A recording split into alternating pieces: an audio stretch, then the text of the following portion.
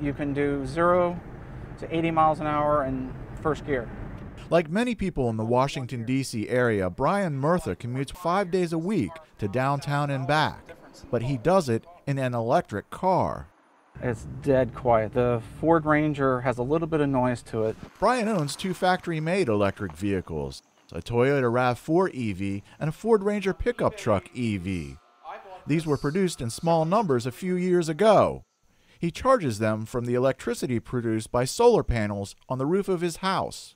After I retired from the Air Force, I'm, I set a goal to uh, not use energy from anyone else off my property, to make all of my own energy myself and be energy independent.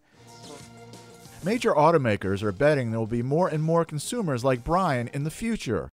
Toyota, General Motors, and Mercedes plan to have an electric vehicle in showrooms within two years.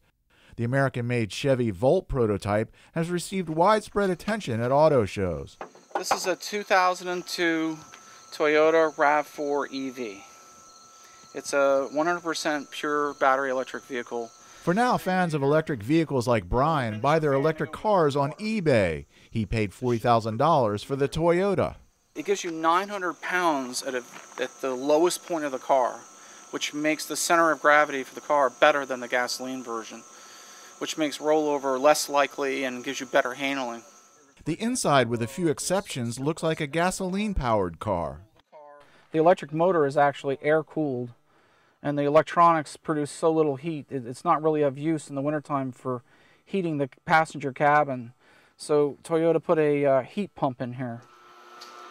Both of these units He charges his cars in the garage by plugging in these receptors. It's got a little uh, infrared communications port in the center of the paddle. The electricity runs along wires that are connected to the solar panels on the roof. It does about 25% an hour. So if, if you ran it down a quarter uh, on the fuel gauge, if you were three quarters of a charge and you wanted to fill it all the way up, it would take you an hour. Brian says driving to work with a gasoline powered vehicle would cost him about $8 a day in fuel.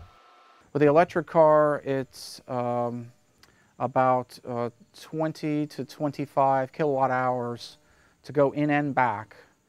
And uh, say at uh, 10 cents a kilowatt hour, that's about $3.